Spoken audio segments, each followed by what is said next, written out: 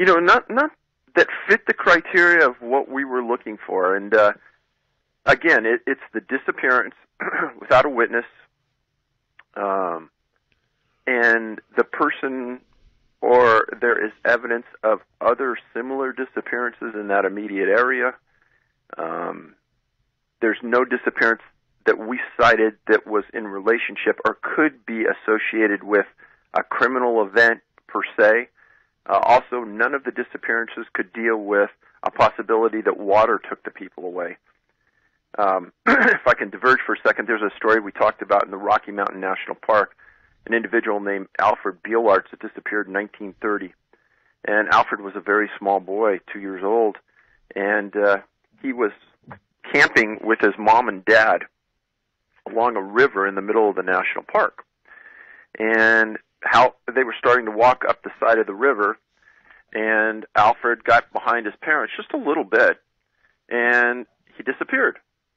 And the parents originally, I'm sorry, Alfred was four years old. This was in 7 2, 1938. Alfred, uh, his parents thought he fell into the river, but they weren't sure, and they didn't think so because they would have heard something because this isn't a huge river.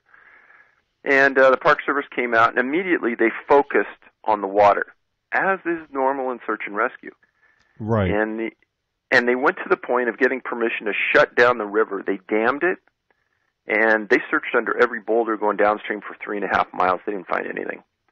So then they think, well, maybe we ought to start looking on the land. So a couple days later, they bring in some canines and they track it uphill, which is weird because if you know anything about search and rescue, small children and most people walk downhill when they're lost. Well, they went uphill. Canines went uphill for about a thousand feet. They stopped at a fork in the trail, and the dogs sat down and said, "Well, that's enough. We're not going any further." Which is odd canine behavior.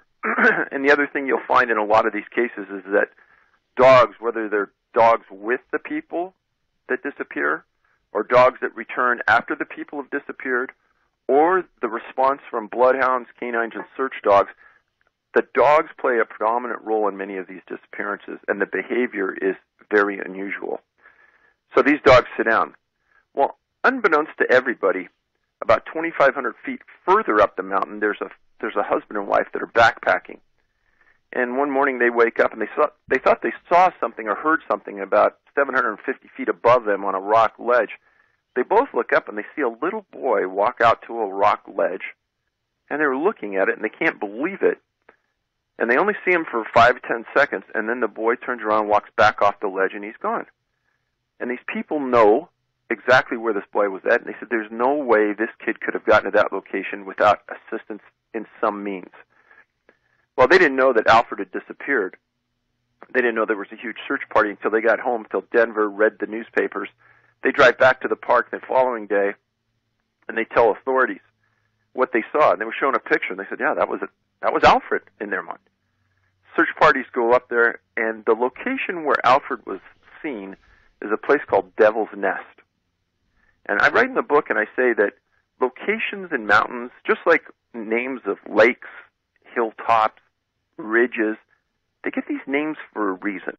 So uh, the searchers, 40 people, scour this mountainside uh, for three days, and they don't find anything of this boy or any remnants that he was there. Now, as I go further, and I'm not going to explain it all, but there are a series of events that happened at this park, all in the same time frame, that are beyond belief and beyond explanation that you'll never hear about anywhere else. And unless somebody went there like us and did something stupid like spent days scouring the archives, you'd never hear about it. But it all seems too coincidental that all of these series of events and all of these missing people all occurred within this Rocky Mountain district in a in a time frame that doesn't make any sense.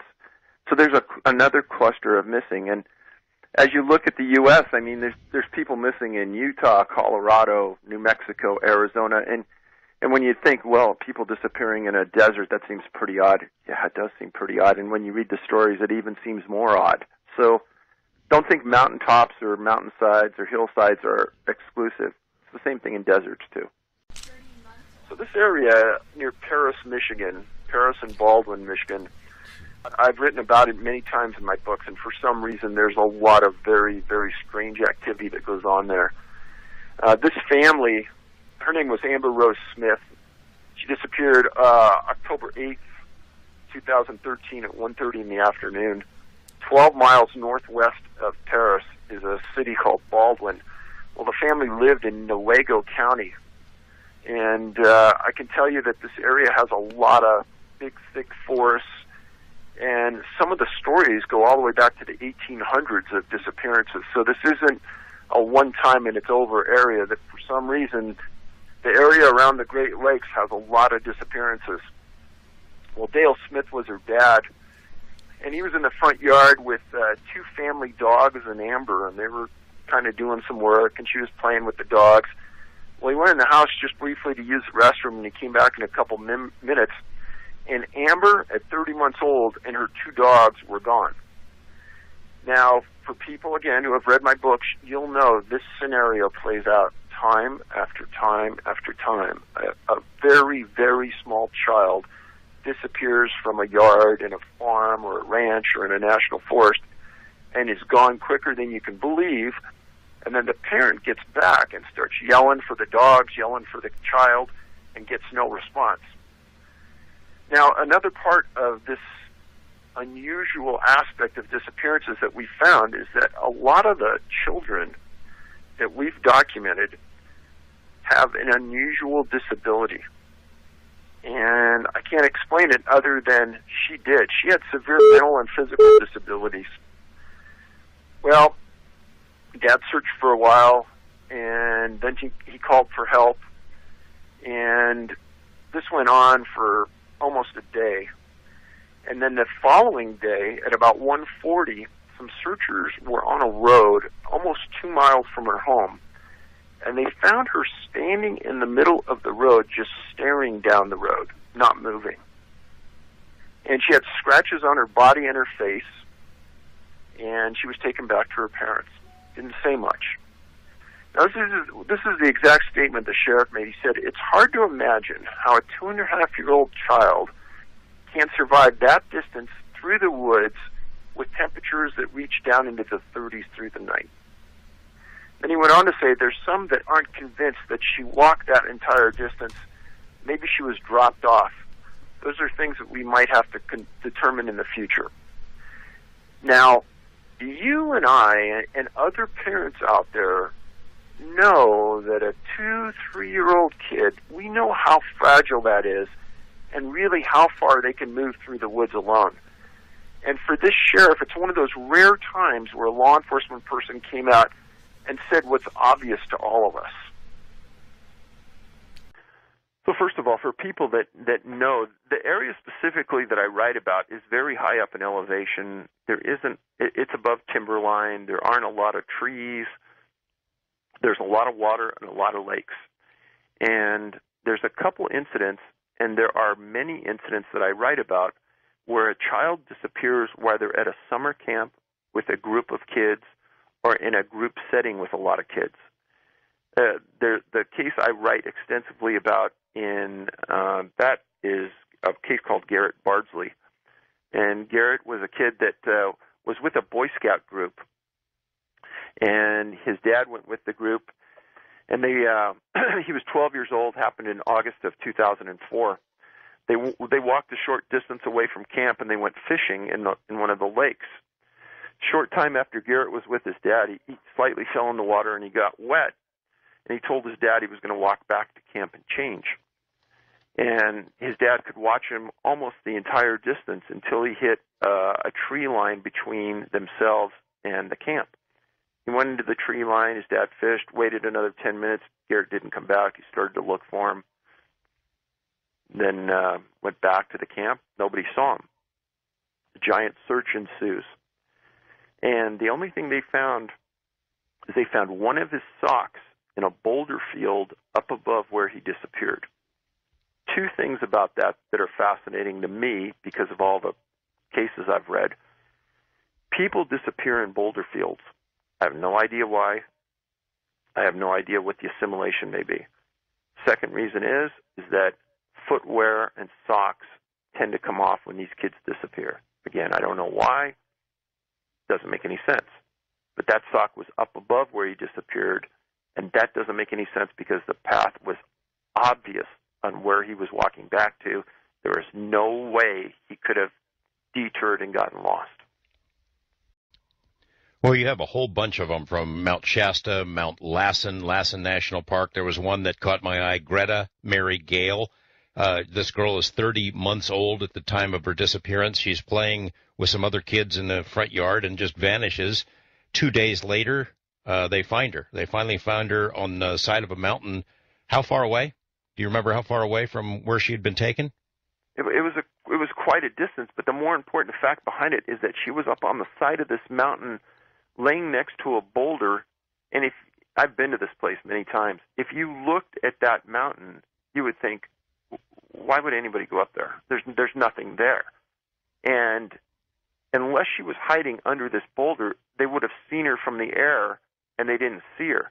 And, and the sad part about this is she was with her grandparents vacationing, and when she disappeared, her grandfather, who was a congressman at, at the time, had a heart attack and died. Usually, large number of these kids will disappear while they're visiting the grandparents' residence, and the grandparents live in rural areas, and that's that's what happened with Keith. And it's it's not clear from the clippings exactly what happened, other than he was there, he was in the yard, and he disappeared. And at about the time he went missing, the grandfather knew the area well, et cetera, et cetera.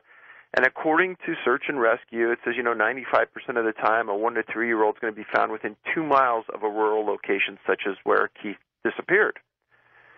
Well, uh, an April 10th, 1952 article in Lewiston Daily stated that the boy was found over a dozen miles away from the grandparents' home 19 hours after he disappeared, and he was found unconscious laying in a creek bed. Okay, so that's a little odd because he had to go over two mountain ranges, fences, creeks, rivers, and this guy's found 12, this little boy who was two years old, barely could walk, and he was found 12 miles away. Now think about this for a second and say, Okay, even under the best conditions, could you and I go 12 miles through the mountains in 19 hours? I don't know. And this little boy is found unconscious on the verge of death when he's found.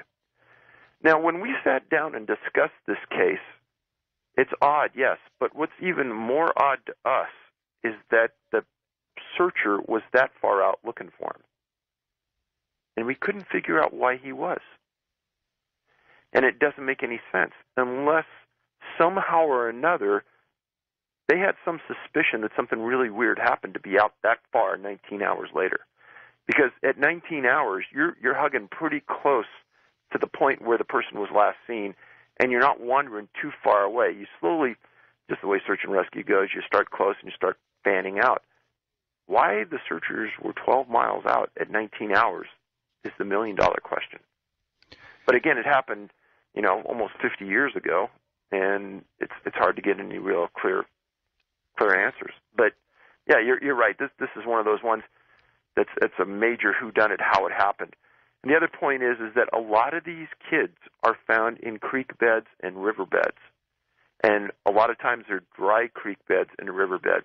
And when you start to try to think through this and say, why would they be there? Well, if there was water in it, maybe they're trying to get water.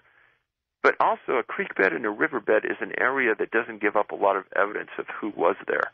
There's a lot of rocks and things, so it's hard to determine what kind of footprints and things you can get on rocks. So in 1868, in northern Michigan, near a city called Walhalla, uh, her dad, a guy named Henry Flynn, ran a lumber camp. And uh, his daughter was three years old, could just walk, and couldn't walk too well. But she would, up this hill, the dad would uh, get get trees and do the milling, etc. And then the horses would drag the cart with the lumber down to the bottom of the hill, and Katie would get off, and then she'd run back to the top of the hill for another ride down. And I don't know how many times a day she did this, but she did it a lot. And at one point, uh, the dad went back to the top of the hill, and Katie wasn't there.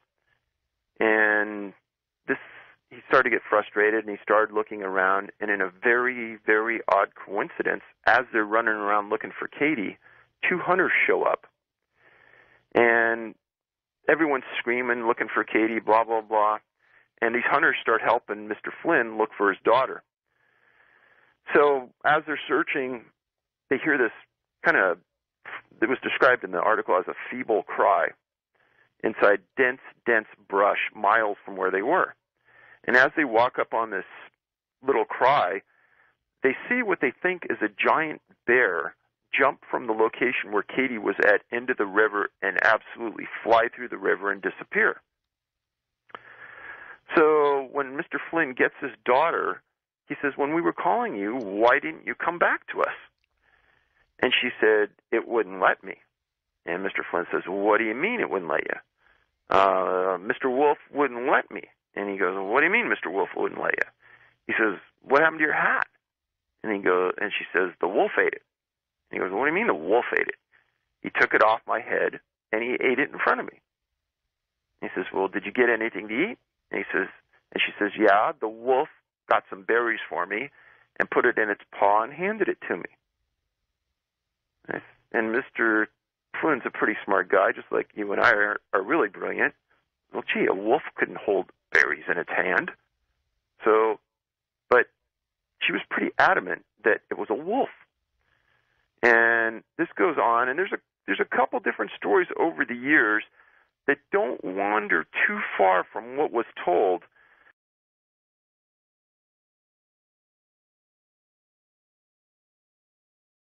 His son was uh, in a wilderness area, and he was with uh, a group of adults, and somehow he got away from them.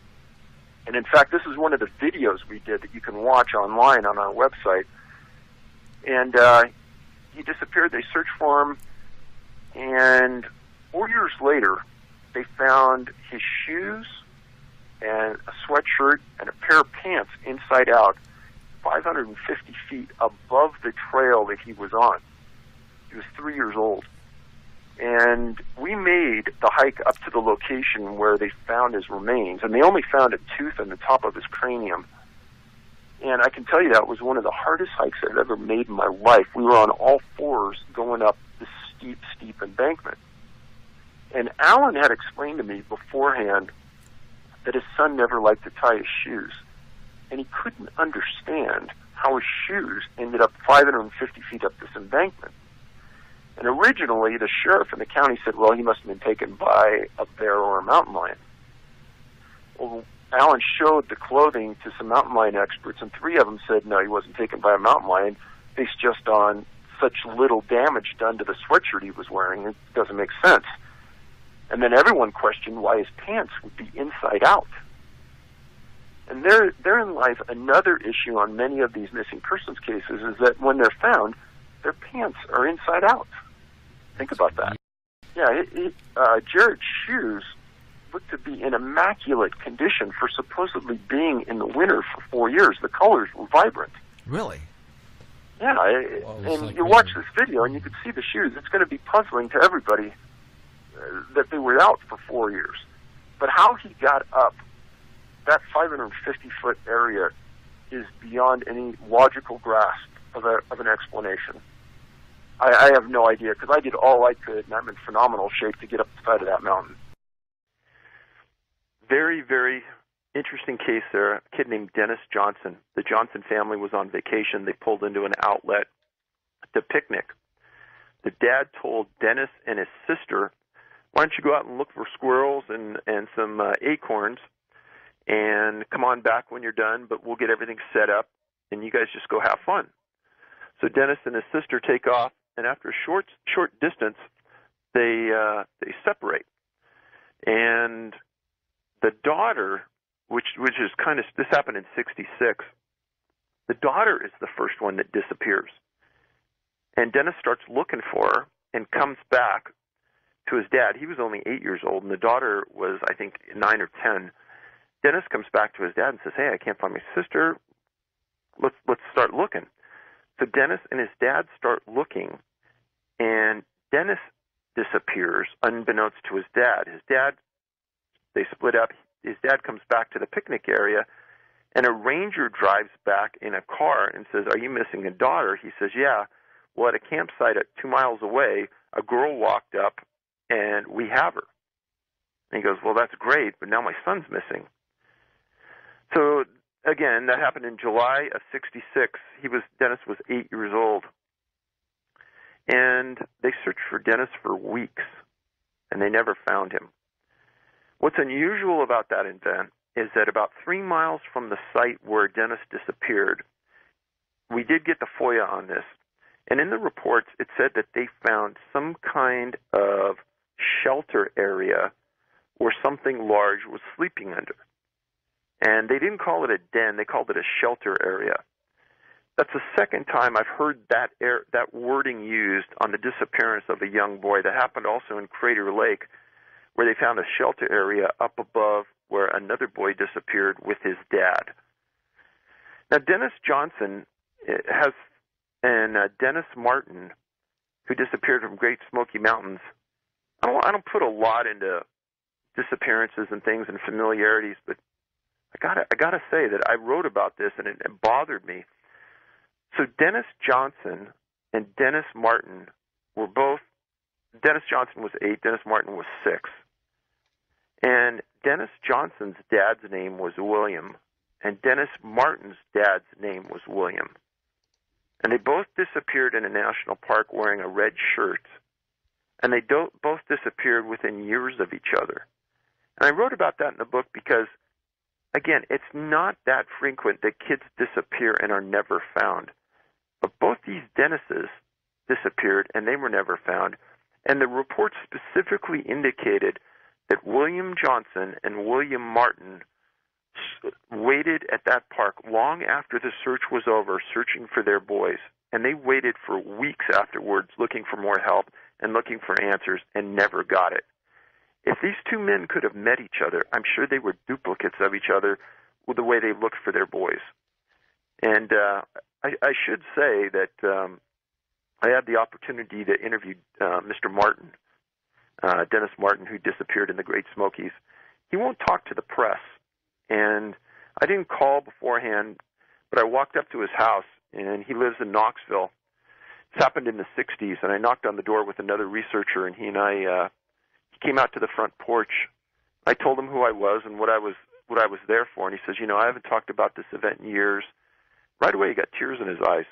He says, I haven't talked about this in years, and it, my my wife and I have lived with this for a lifetime, and it's it's almost ruined us as people, and I, I just don't want to dwell on it anymore. And I told him, I said, hey, I came all the way from California to talk to you, and if I could just just get a couple of answers to a couple of questions, I'd be eternally grateful.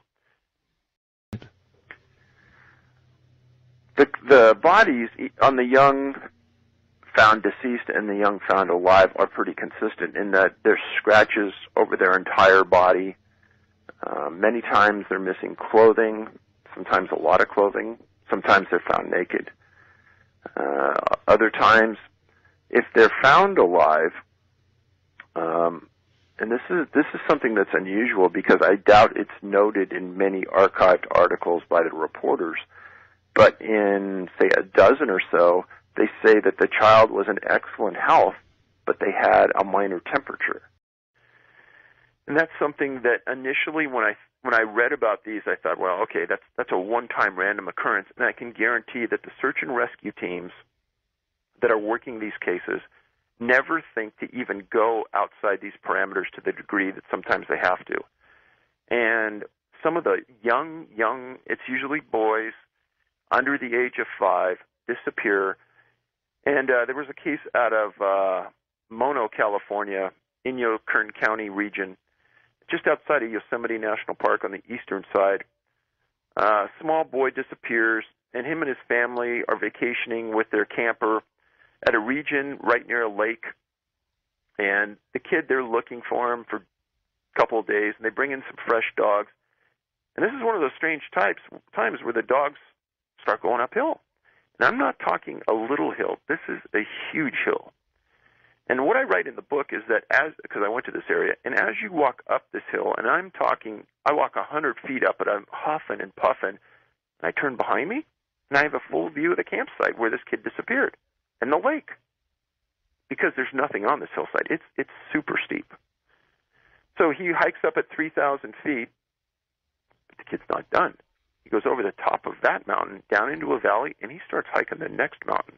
And now he's going up four or five thousand feet. And the way this was found is a dog actually bit on the bit on the trail and started going up the hill.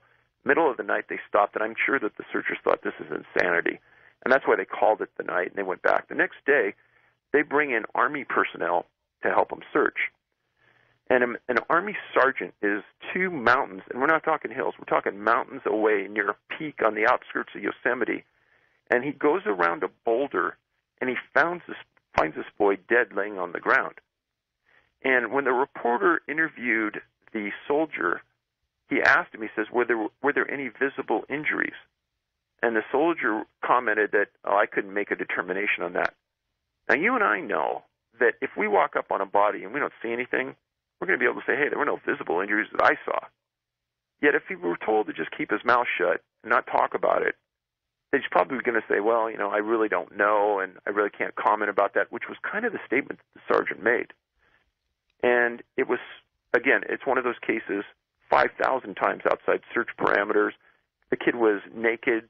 He didn't have any shoes on. Again, no comment about the feet. It was, it's a totally bizarre story that is a very strange part of this story, and I talk about it in both books. At the beginning, you start to think, well, maybe these kids with disabilities, um, because of that disability, disappeared.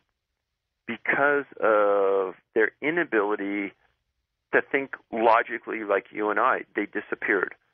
But when you get into the minutia of the data, there's too many for it to be a random chance like that and it's too coincidental that they disappear under the circumstances that they do. Uh, there's one case where uh, a small boy again disappears.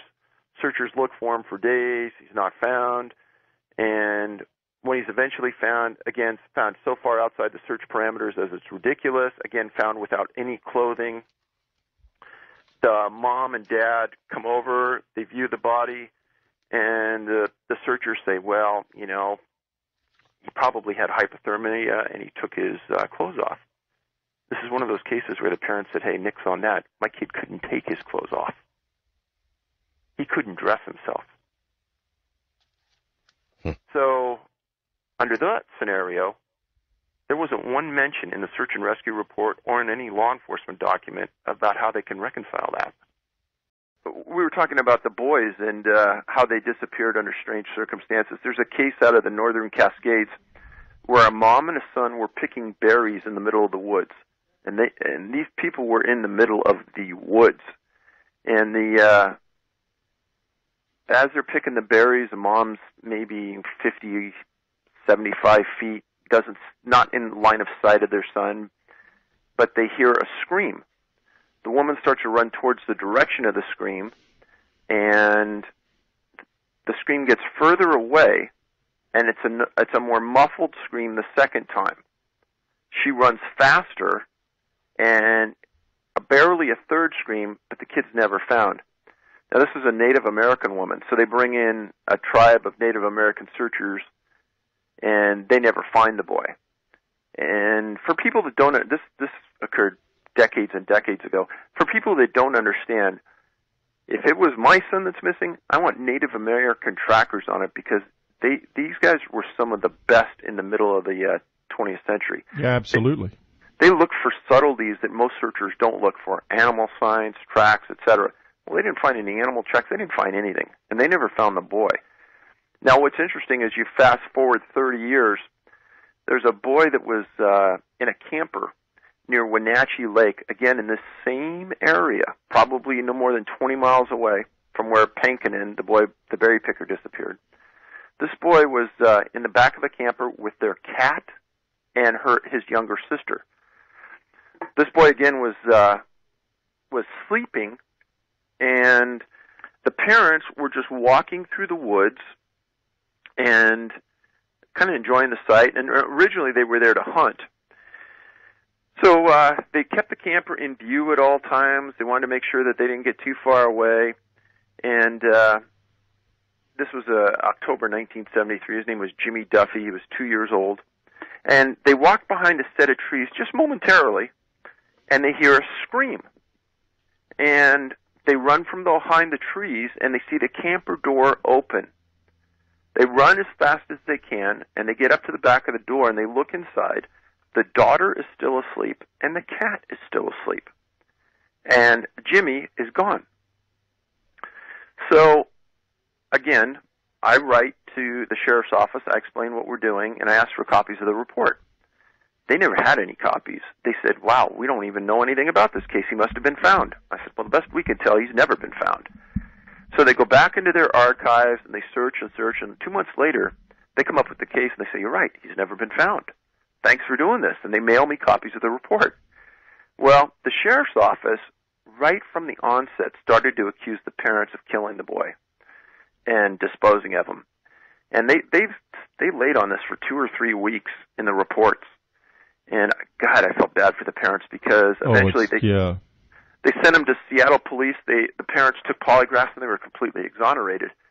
And what's unnerving about it is not only they lost a lot of time on the case, but law enforcement there's no way that they understand that this has been going on right in that Wenatchee, Northern Cascades area for 60, 70 years under the exact scenario I just gave you. Uh, there's a boy named Bobby Pankinen who disappeared in a in a cluster with other boys about the anywhere between the ages of four and nine years old, all within a 80 to 90 mile radius of one location in really really rugged wilderness area. And in most of the instances, they're doing mundane things. They're berry picking. They're doing strange. They're, they're not doing strange things. They're just hanging out. Well, this one kid named Wesley Piatote, berry picking with his mom. These are Native Americans. They're in the rugged wild.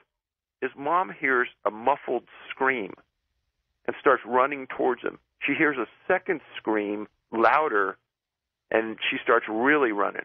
And now everyone's running. He disappeared. Kid was never found.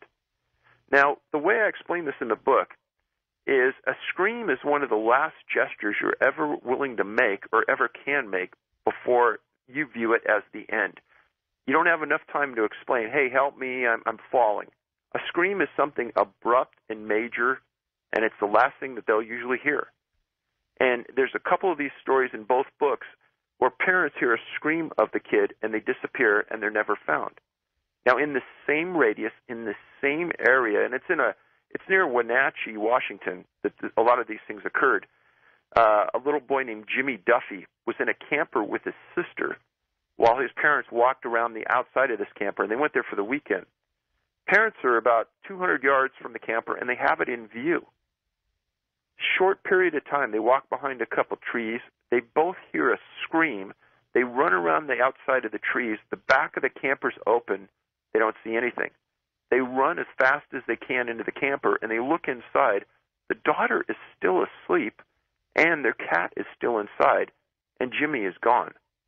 A massive search of this area, the boy is never found. Now, this is a really interesting case because the sheriff uh, lost the case file and he he put it under his wing and he worked for weeks him and another clerk and they found the case file and they they sent it all to me and it's now open again, but it wasn't. And the interesting part about this case is that the detectives working it initially accused the parents. And I mean, they drilled these parents hard. And uh, eventually they got Seattle PD to do polygraph exams on both of them and cleared them both. Now imagine this, George. You lose your son in the middle of nowhere. You spend the next two or three weeks defending yourself as detectives are honing in on you in the meantime, nobody's looking for your son, and your son is never found. By the time you're exonerated, the trail's closed. That's it.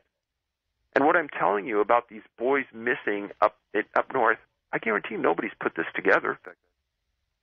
Uh, as you can expect, I've received hundreds and hundreds of emails from people that have their own twist on what might have happened here. And some of them were very well written, quite thought through, and came from intellectual types. And one one specifically was about the ages of many of these kids between the age of say six and nine, and they stated that they're at this is the observation the person made is that these children are at the age where they can take care of themselves essentially, but they're at that optimum age of learning, and they they thought it was unusual that this was the age when the kids disappeared and were taken some of the kids said some some pretty strange things.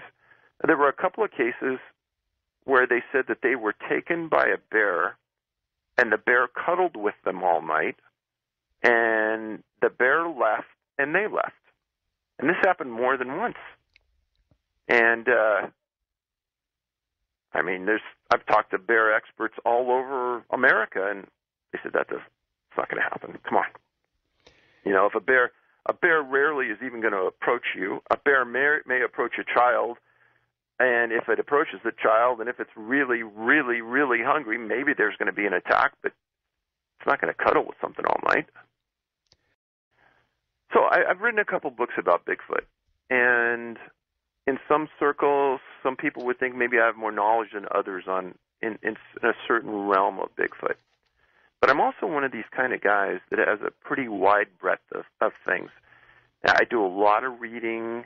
Um, I look into a lot of unusual events, and just just like you know a lot about the UFO world and Area 51, George, and I've read a lot of books about abductions and John Mack and the abductee phenomena, and I and you start to think, well, these young kids are disappearing and I asked some DNA experts, when's our DNA at the optimum? And it's that under 10 region where our DNA really doesn't doesn't change much, and it's at that purest state.